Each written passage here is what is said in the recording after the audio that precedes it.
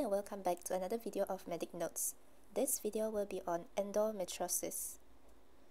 It is defined as the presence of ectopic endometrial tissue in sites other than the uterine mucosa.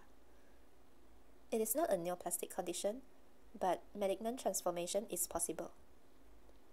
These are some of the possible sites of endometriosis, which can be divided into pelvic area and extra pelvic area.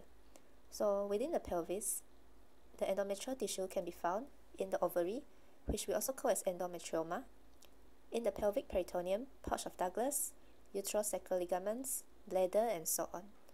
Whereas for extra pelvic areas, can be found within umbilicus or other places such as pleural cavity, the lung, the breast, liver, and even the extremities. So there are a few theories which could explain the endometriosis. The first theory is the metastatic theory, where it states that there is retrograde menstruation, where during menstruation, the blood containing the endometrial cells pass the tubes and enter the pelvic cavity and may be implanted there and then continue to grow during each menstrual cycle. Whereas the second theory is vascular spread, to explain the spread of the endometrial tissue to distant sites such as the liver and lungs. Third theory is coelomic metaplasia, where adult cells from different sites in the body may have been induced to undergo differentiation back to the primitive origin before transforming into the endometrial cells. This theory can be used to explain endometriosis in any sites. So these are some of the risk factors of endometriosis which includes uterine or genital tract outflow abnormalities, nulliparity or delayed childbirth, longer duration of menstruation and also heavy menstruation, exposure to environmental toxins, and also family history of endometriosis. For clinical features, there are three main clinical features of endometriosis, where it consists of a triad of deep dyspareunia, subfertility, and also dysmenorrhea. Dyspareunia means there is pain during sexual intercourse, whereas dysmenorrhea means that there is pain during menstruation. These are overall the symptoms that might be found in endometriosis. Some patients may be asymptomatic, and other symptoms such as dysmenorrhea, menorrhagia where there is heavy menstrual bleeding, premenstrual spotting, infertility and dyspareunia, and they may also have chronic pelvic pain or abdominal pain. There are also other symptoms that involve other systems such as the genital urinary tract where there is frequency, dysuria or cyclical hematuria. Involve the gastrointestinal tract where there is painful defecation or cyclical rectal bleeding or melena. And it can also involve the chest where there is cyclical chest pain and hemoptysis. So this cyclical means that every month during menstruation, during each cycle there will be pain or bleeding. On physical examination, we can do abdominal examination. It may not reveal any abnormalities, but we may also feel a mass arising from the pelvis, which is tender and non-mobile, suggesting for endometrioma. Another examination is to do the pelvic examination and bimanual examination. They might not have any abnormalities, but if there are positive findings, they may be pelvic tenderness, with unilateral or bilateral adnexal mass of varying sizes, a nodular field of uterosacral ligaments and at the pouch of Douglas, and a fixed retroverted uterus. For investigations, we can do serum CA125.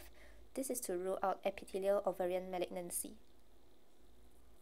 Transvaginal ultrasound, MRI and CT scan, are useful in presence of adnexal mass or pelvic mass. And in MRI, we may be able to see rectovaginal endometriosis. On ultrasound, can look for endometrioma, where there will be thick wall with heterogeneous ground glass appearance. The diagnostic investigation is visualization of endometrial deposits within the pelvis by using laparoscopy.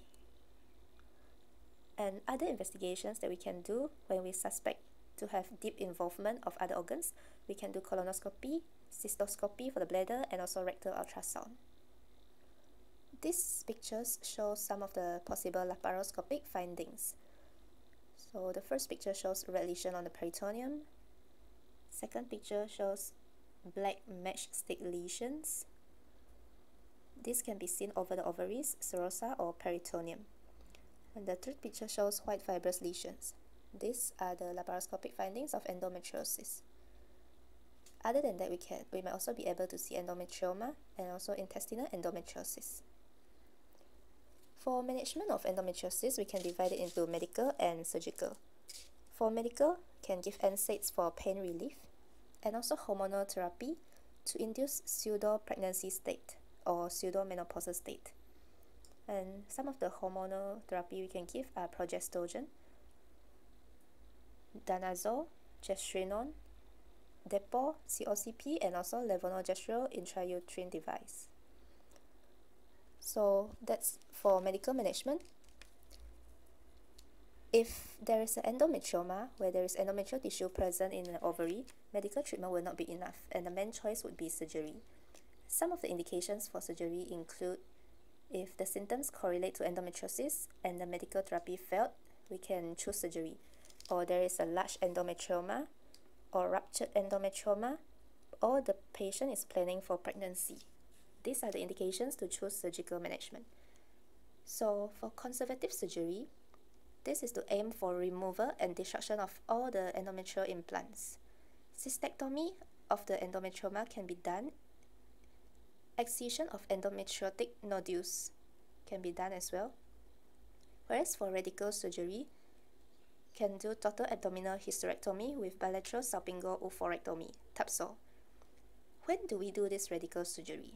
It is done when there is recurrence of endometriosis or there are persistent symptoms and the family is completed already where the patient does not desire for any childbirth in the future or there are more than 40 years old with endometrioma present. So that's all for this video. Thank you.